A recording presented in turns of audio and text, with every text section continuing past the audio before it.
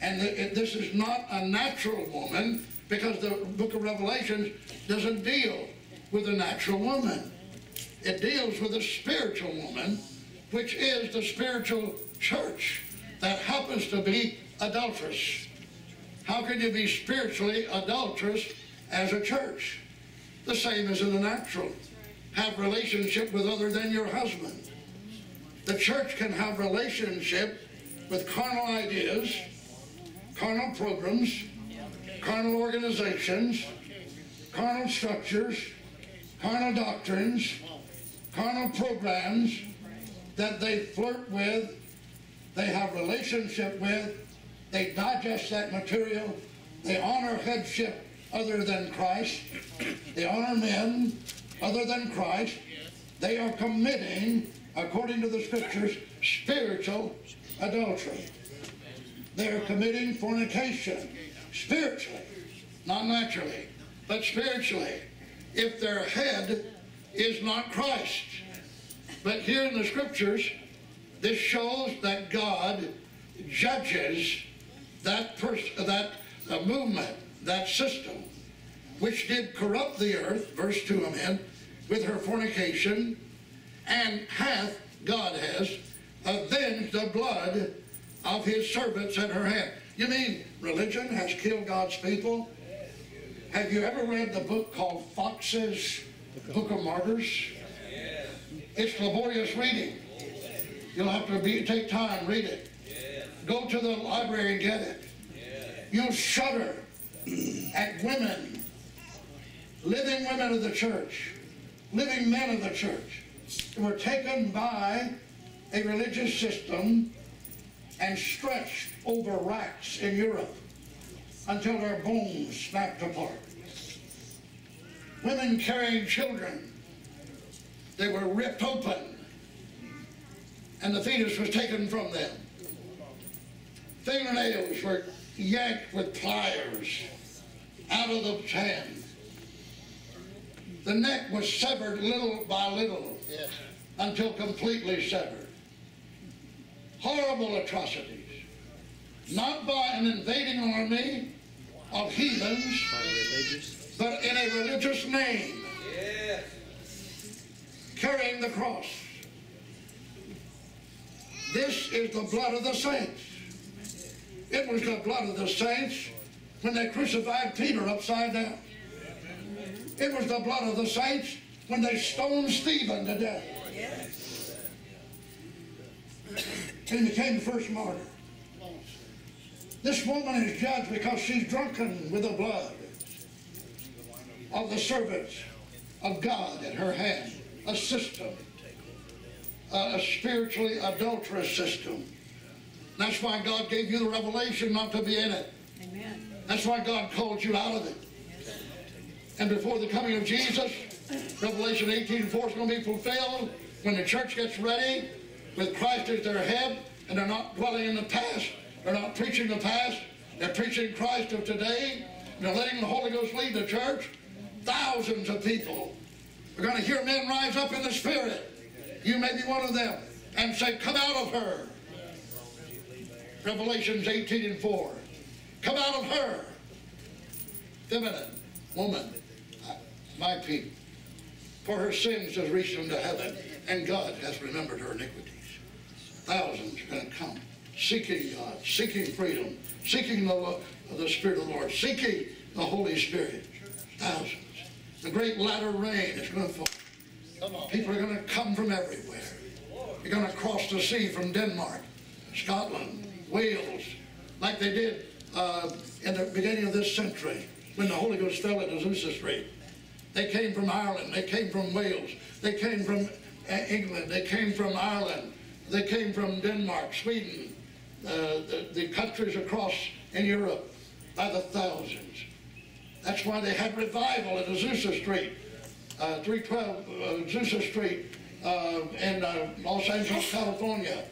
And they had revival there until for three and a half years, they never, never closed the doors of that livery stable in Los Angeles.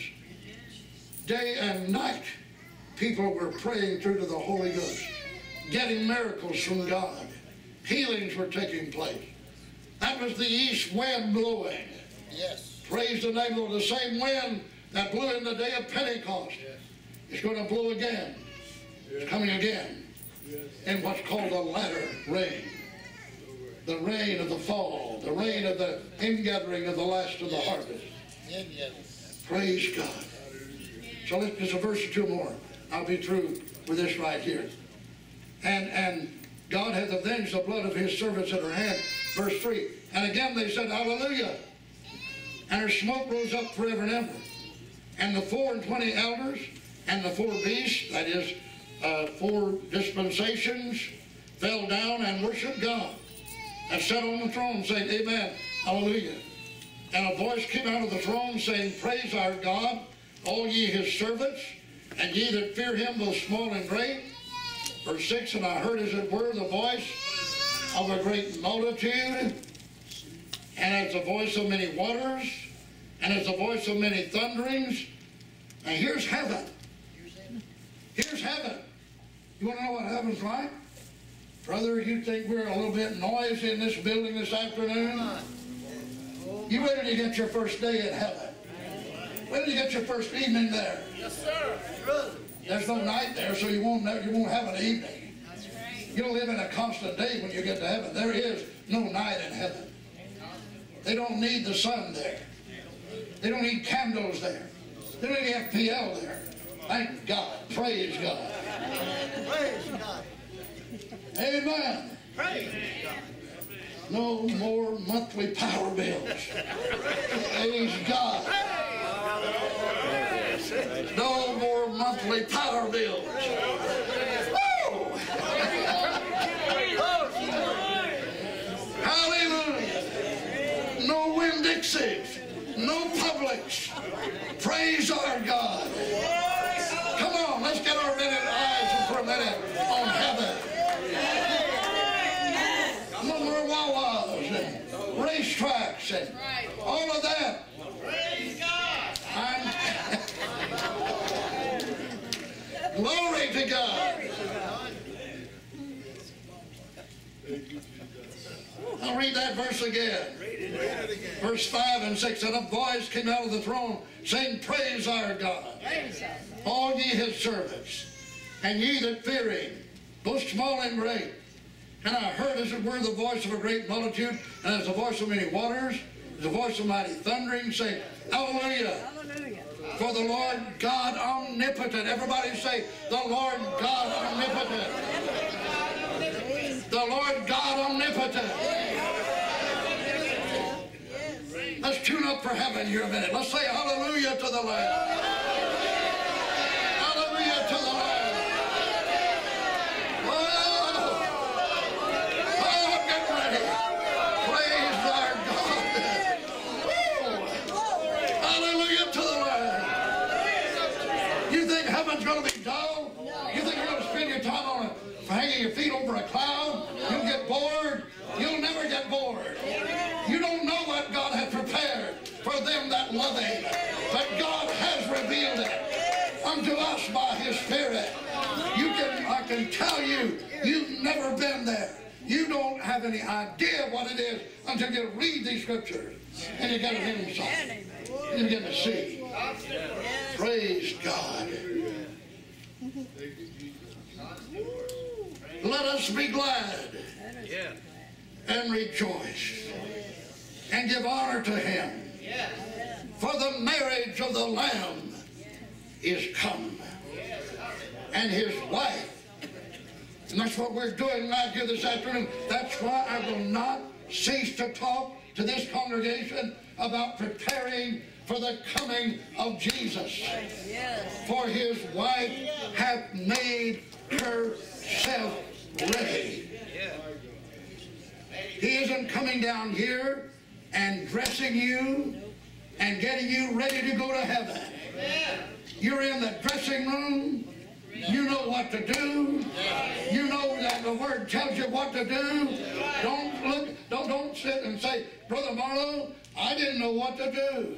If you hang around men of God that are not afraid to preach the gospel, They're going to start telling the people what to do. I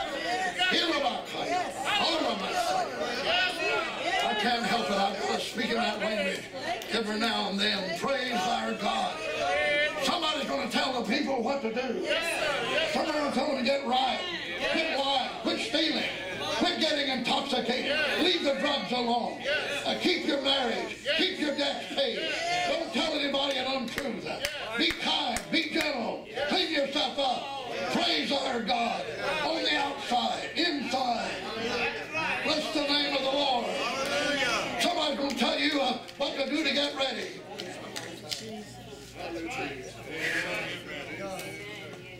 Gonna soft soap it. His wife has made herself ready. And to her was granted that she should be arrayed. I'm going to misquote this deliberately to see if you're listening to me. She was arrayed in any old garment she could find. Didn't matter if it came from TJ Maxx or wherever it came from. Amen. She just went out and picked out anything she wanted to put on. She just did any way she wanted to do. She just hung out all night the night before. No, no, no. Everybody say no oh, with me. No. Praise God, no. Hallelujah. I feel that east wind getting ready to blow again. Praise God. Old time, old fashioned, but yet new from God. An anointing coming back again, touching men again, touching the church again. Not cardboard messages oh, made up in the back room. Five points, four points, three points. Get rid of those five point stuff. Get the talking from God. Get the Holy Ghost a hold of you. Let the Holy Ghost run through you. Don't be afraid. You men around me with callings in your life, let the Holy Ghost take hold. Speak through you. Work through you. Move through you. Amen. Hallelujah. To her was granted she'd be arrayed in fine linen. Oh, I can feel that. I love linen. Don't you love linen? You're a man and you love linen. I sure do. Praise God. It's so cool and smooth. So cool and smooth. Don't hand me that wool garment of the flesh. That stuff.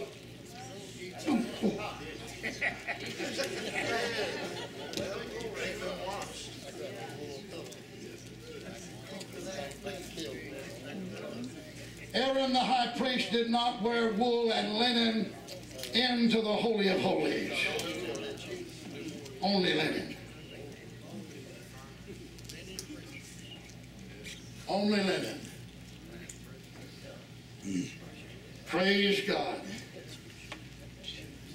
Clean and white. For the fine linen is the righteousness of the saints. For fine linen is the righteousness of the saints. Praise God. All right. Sister Vivens, you have those children ready for that song over there. Come on. Praise our God. While she's getting the children assembled and ready, I want to tell you what a great, great God we serve, what a great Spirit is in the place today to overshadow the Word. And I've spoken what God gave me, and I don't feel led to go any further with it. Feel led to stop right there because I believe God gave me the words He gave me, and I don't want to press beyond what God gave me. Uh, but um, I do want you to know I love this church. I love all of you. I love the congregation assembly here today. I thank you for your coming, your giving, and um, if you're here and you're going to stay between service and you need something to eat, uh, I'm going to ask uh, Brother Sean, would you work with me on this? That one of the ushers stand right here when we dismiss and let us know the count of those that need something between the service. Uh, and we'll get that taken care of uh, since we don't have dinner in our dining room uh, today. But um, I want to thank the Lord for you. And if you're here and you haven't been here in quite a while, how many are here that hasn't been in the assembly for a little while? Lift your hand. Oh, my, I know. I want to welcome you back, child. Praise our God. We're so glad to see you. And she told me, she told me, Brother Marlowe, I am coming back home. Praise the name of the Lord. The Lord bless you. The Lord bless you. And uh, all of you got the little bulletin today, the handout bulletin. I appreciate you for those who make that up. And you got the little note, I know, and the flyer from Brother Schoen as well, uh, that um, uh, we can use the overflow parking across the street. And in days to come, hope to get a golf cart here for the church to transport people that have to park over there, clement weather, and uh, across the street uh, help you that much because our parking lot has been filling up and uh, some of you get jammed out there and I don't want to see that. We should be able to be free uh, to go when more time comes. So we'll be working on that issue of parking and was out today making some adjustments for the Schoen on it. But doing our best to serve you uh, because this church is growing and God is adding to and people are coming by being led by the Spirit of the Lord.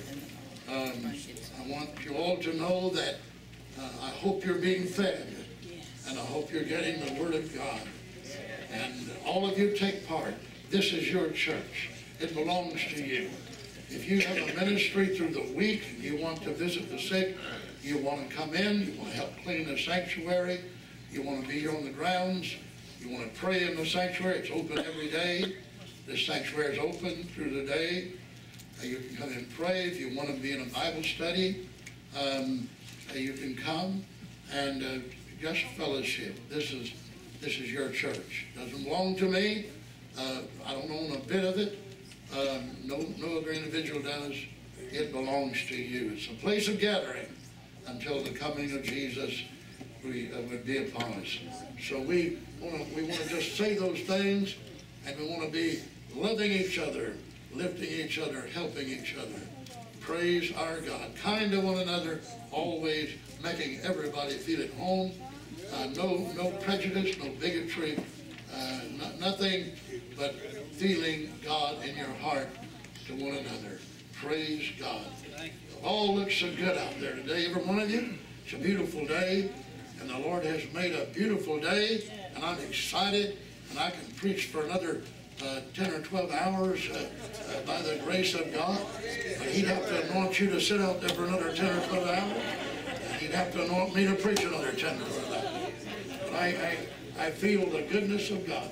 I'm so happy to see Sister Patricia Ware. Her husband just went to be with the Lord. I'm so glad to see Patricia here on the job. Amen. Amen. May the Lord bless you. Well, got your song ready now?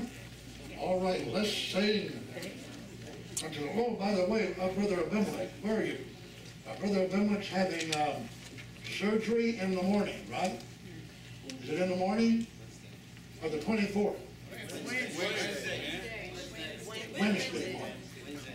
Pray for Brother Carlson. He's having a procedure in the morning, and we want God to be with him in that early in the morning. Brother Abimelech's having it Wednesday morning. 24th. Brother Mark, Yes. going to have his wife and family, mother and Yeah, I'm, I'm going to, yeah, thank you, Sister Marla. I'm, I'm heading that way. Praise the Thank you for helping me. I could not have made it these years in this church, 56 years, without this woman right here. That's right, amen. All of you said amen.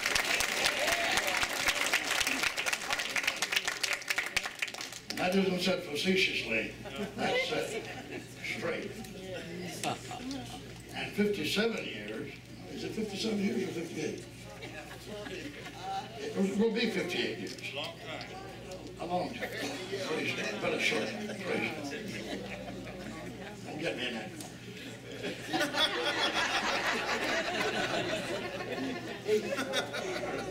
You ready to sing?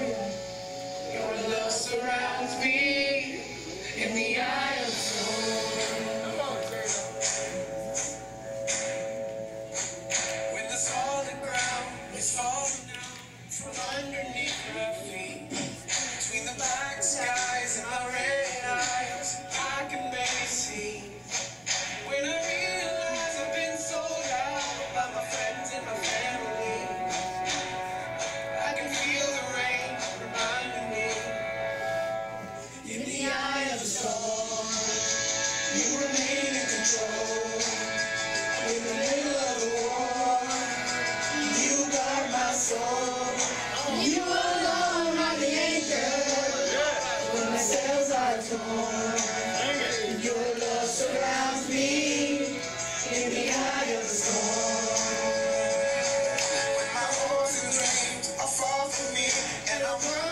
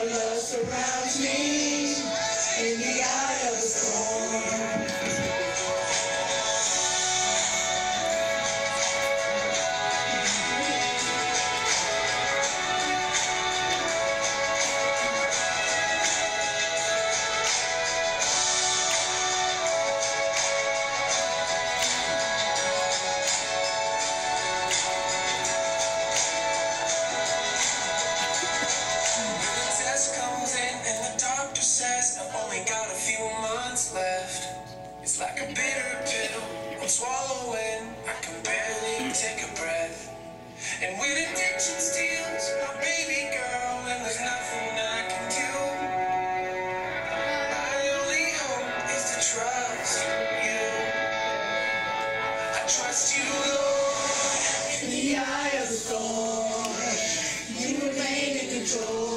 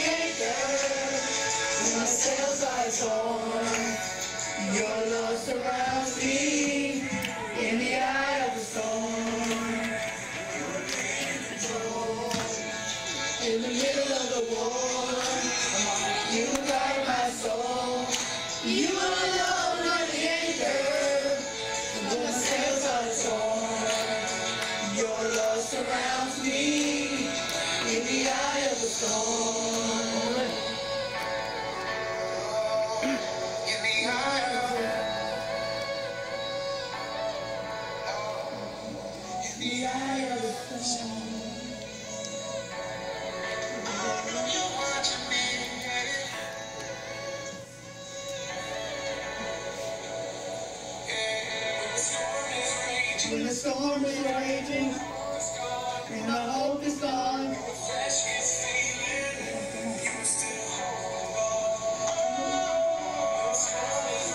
The storm is raging, the and my hope is gone. My flesh is failing. And the storm is raging. The storm is raging. And my hope is gone.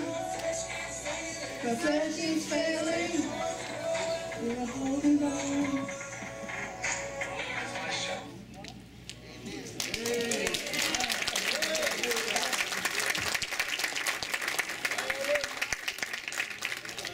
You all did a great job. Praise God. Let's give them a big hand. They did a great